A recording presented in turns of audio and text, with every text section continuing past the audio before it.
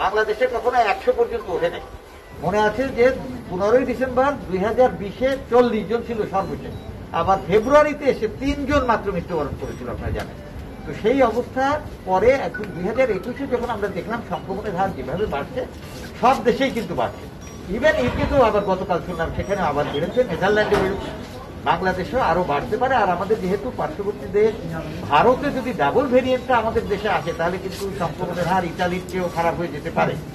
সেইটার হিসাবে যেমন মাননীয় প্রধানমন্ত্রী লকডাউন দিয়ে আমাদের সবাইকে স্বাস্থ্য সচেতন করার ব্যবস্থা করেছেন, যার ফলে আমার মনে হয় যে ইদানিং আপনারা লক্ষ্য করেছেন, গত দশ দিনে, পাঁচই এপ্রিলের পর থেকে গত দশ দিনে একশোর উপরে ছিল, এখন আস্তে আস্তে কমা শুরু হয়েছে, এখন আশি অষ্টআশি পর্যন্ত নব্বই নিচে। এই সব চিন্তা ভাবনা করে বঙ্গবন্ধু শেখ মুজিব মেডিকেল বিশ্ববিদ্যালয়ে যখন প্রচুর সংক্রমণ শুরু হলো, আপনারা জানেন যে আমরা ইতিমধ্যে একশোটি বেড করোনা সংক্রমণ রোধ করার জন্য আমরা বৃদ্ধি করেছি। এছাড়া আইসিইউ, আমাদের বিশটি আইসিইউ ছিল। কেবিন ব্লকেও কিন্তু আমরা আরও বিশটি আসন বৃদ্ধি করেছি।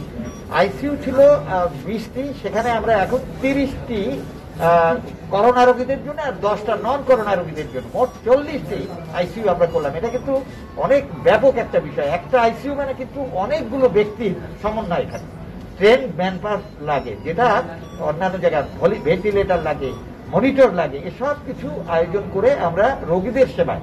জাতির জনকের নামে প্রতিষ্ঠিত এই বিশ্ববিদ্যালয় থেকে যাতে কোনো মানুষ সুবিধা বঞ্চিত হয়ে বা চিকিৎসা না পেয়ে ফিরে না যায়, সেই কারণে আমরা এই উদ্যোগ নিয়েছি এবং আমার সাথে আমাদের প্রভিসি অ্যাডমিন ট্রেজারার সাহেব রেজিস্ট্রার সাহেব এবং এই চেয়ারম্যান স্যার একটু যদি জানতে চাই আপনি যেমনটা বললেন যে করোনা রোগীদের জন্য আইসিইউ বেড তিরিশটা। আসলে তো তিরিশটা না এই মুহূর্তে বিশটা আছে। হ্যাঁ। দশটার ব্যাপারে একটু ব্যাখ্যা দেন আচ্ছা, কারণ দশটা তো নন কোভিড রোগী আছে।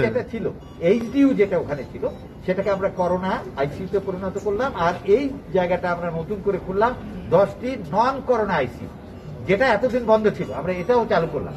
তাহলে আমার এখানে তো কোভিড নন কোভিড সব ধরনের রোগীদেরই চিকিৎসা করা। সুতরাং হিসাব করে দেখেন, আবার কেবিনেও আমরা আরও বিশটা বাড়িয়েছি।